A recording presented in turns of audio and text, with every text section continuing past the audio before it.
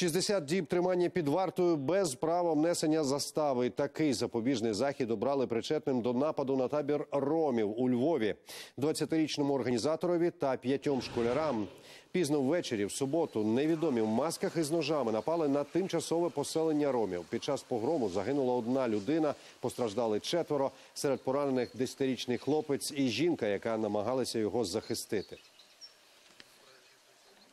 Злочин, який підозрюється неповнолітній, є тяжким.